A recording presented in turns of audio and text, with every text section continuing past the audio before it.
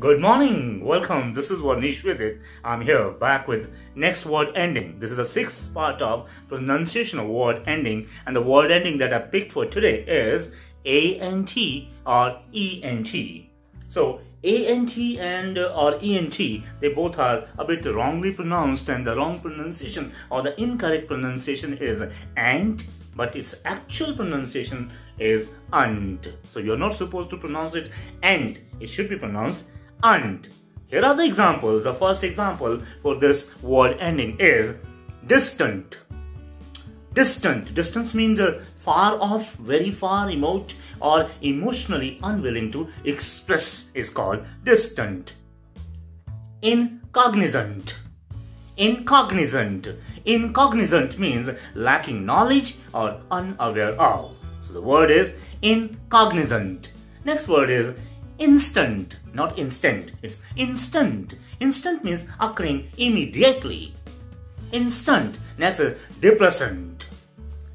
Depressant is it's a pharmacological substance that reduces the physical activity which makes somebody slumberous and dormant is called depressant. Depressant. Next is exuberant Exuberant means very high spirited or abundant in amount is called exuberant. Next is malignant. Malignant means uh, it has lots of meanings like it can be called harmful, injurious, cancerous or tending to cause death. One that results in sure death is also called malignant. Next is observant. Observant. Observant means feeling or showing uh, a kind of uh, watchfulness or is attentive in observing duty or mindful is called observant. Next is repentant. Repentant. Repentant means uh, showing sorrow for wrongdoing, something wrong done, and you feel sorrow for that is called repentant. Next is hesitant. Hesitant means uh, tending to proceed with caution, one who is hesitant. Next is reluctant. Reluctant. Reluctant means opposing or unwilling. So the word pronounced once again, it is reluctant. Next is deterrent. Deterrent. Deterrent. So deterrent means preventing from something to be happen. Means preventing something for happening is called deterrent. Next is acknowledgement.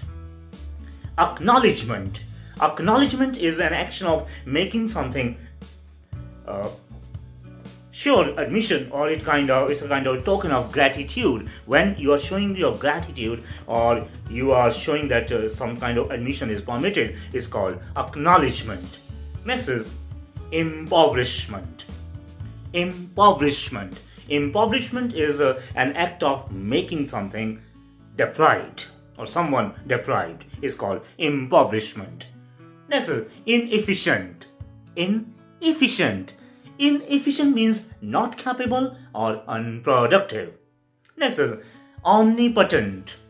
Omnipotent. Omnipotent means having unlimited power or almighty. The almighty God is also called omnipotent. Next is transcendent. Transcendent. Transcendent means beyond the range of usual perception or it is something excellent is called transcendent. Next is magnificent. Magnificent means grand or elegant. And the next is reminiscent. Reminiscent means uh, tending to bring some memory back is called reminiscent. Next is uh, temperament.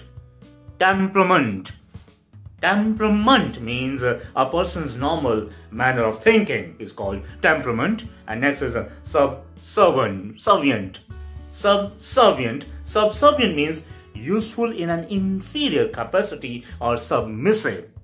So that's all for the words in this list which end in ANT or ENT and pronounced and, not end. I'll be back with the next video on next word ending. Till then, goodbye. Have a nice time. See you. Do remember to like and subscribe or share. Thanks.